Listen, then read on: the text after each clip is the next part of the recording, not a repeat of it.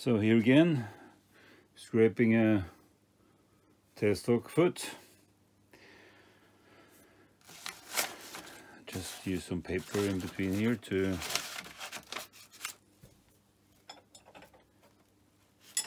not mar the sides here. Then I use my 5 degree negative tool and just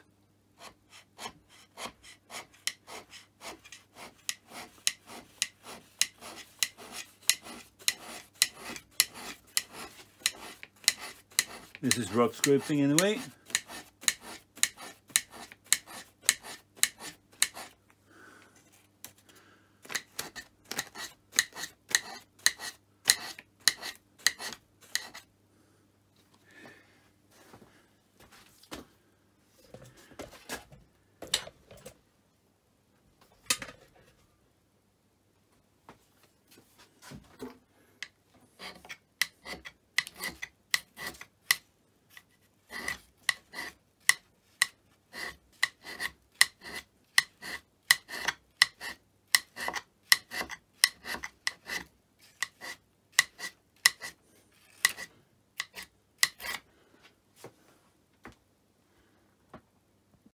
As said, this is rough scraping, so it doesn't really matter how you do it, as long as you get it down where it should be done. I've also used a file to get down in the corner, so this is relief here, both sides. I blued up the tailstock end of the bed. Can't really remember how many cycles I've done, but use a just a sponge type of uh, paint roller. Fingers feel for dirt grit same here. And it should be flat so you can test it here to with an indicator and then doesn't really matter which way you test it, it. Shall be flat anyway. So uh, but let's do it this way and then I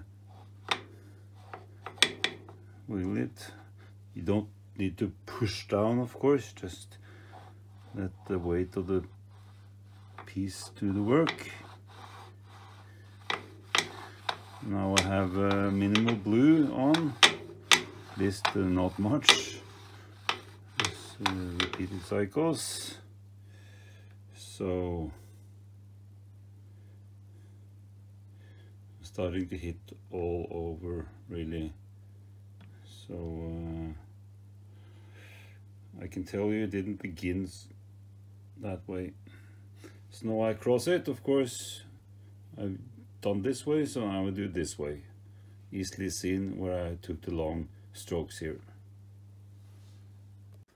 So now one more go, and this way.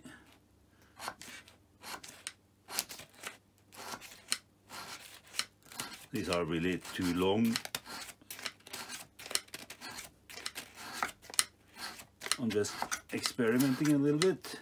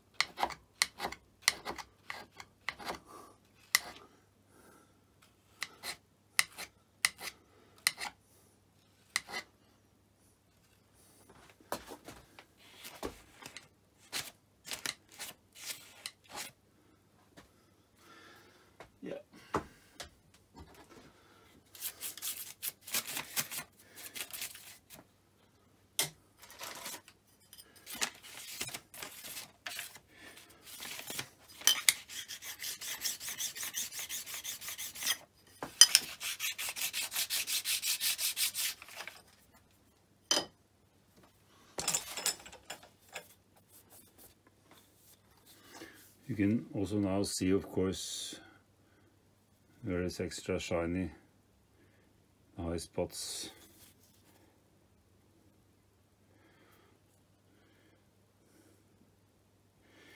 And um, the contact you can see here is just from, well, it was was okay from the start. And um, this was worn from the start, so I needed to do something anyway. I could have ground it, could have fine milled it, but anyway, I uh, think this is the best method, and I would have had to test it anyway. I mean, it. How can you, how can you just grind it uh, and then tell it's flat? You can't, really. You need to at least, if you then have just a ground surface, you can be very precise, but you don't really know until you have tested, do you?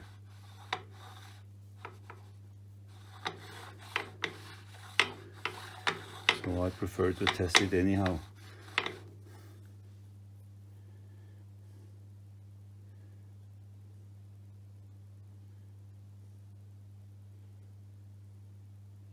So I'm still a little bit better there than here, but it's coming along good, I think.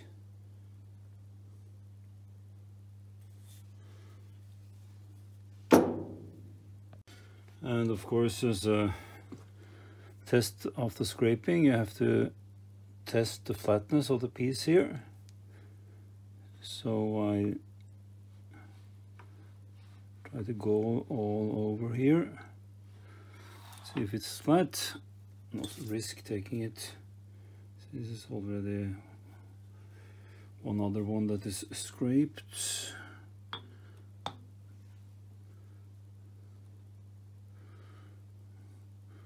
And this falls back to zero. So quite good, this one also. And this is another tailstock I have.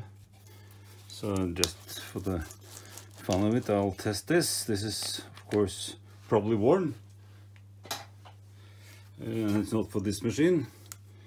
Uh, doesn't look too bad, really. No scores, so we'll see. And the ground surface, uh, it could be, see, not really fitting, but let's see.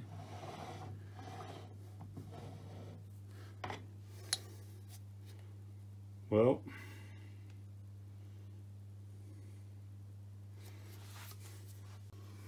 this side was okay, the give there, and uh, this side, yeah, not really, but uh, you see at least under here. And then the third, also looking decent, I would say and uh, apparently not so worn at least it doesn't appear to be. So same again. Um, for what it's worth. And then applying this. Of course this needs to be adjusted so both ways.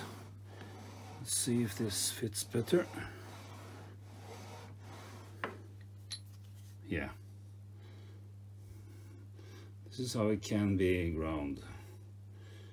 And uh, that's probably acceptable even though I would like to have it a little bit more here and here but you need to test it anyhow because uh, at that point I wouldn't know uh, before I assembled it whether the tailstock barrel pointed straight down with the possible deviation in that direction only, not that direction, but only this, and the same up, not down. So, uh, and here is a, another example, one that was newly taken up apart.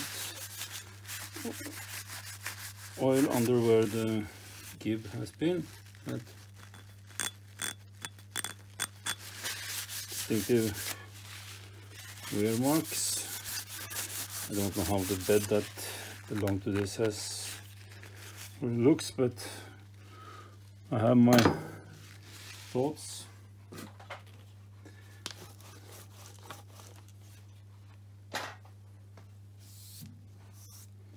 So let's test it before scraping.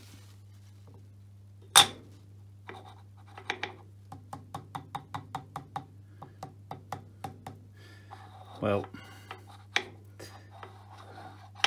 don't think there is much contact here.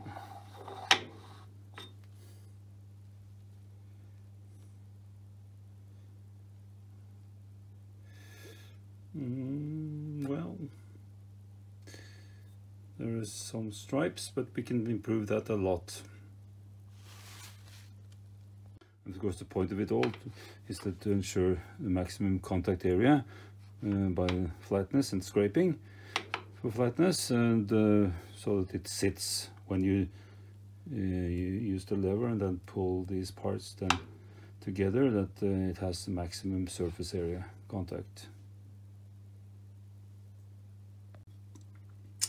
So it shall have static fit anyway, not sliding fit really.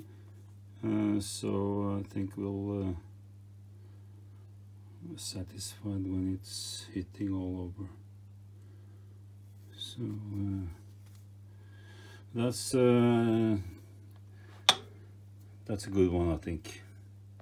And uh, of course, we need to test top here also, or the underside of the tailstock itself. Same way, just the same way. Because all we are after 100% contact. Or the best contact we can at least. So uh, not too shabby. I just stoned it. It could probably be improved a little bit. And of course to finish off new bearing checking the screw. Um, new barrel this is um, an imperial one. Because they tend to be bell mouthed, so sloppy here in the bore. Um, so probably okay with the standard, but they, these should also be really a little bit oversized so you can hone the bore.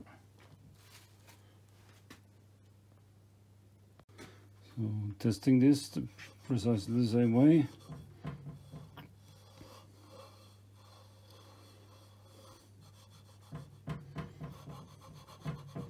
See it's hanging over this corner a little bit more. Probably, we'll see.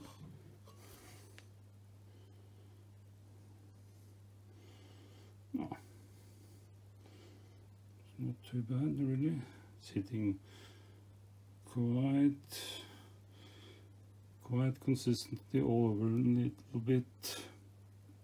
Down here probably. But uh, not bad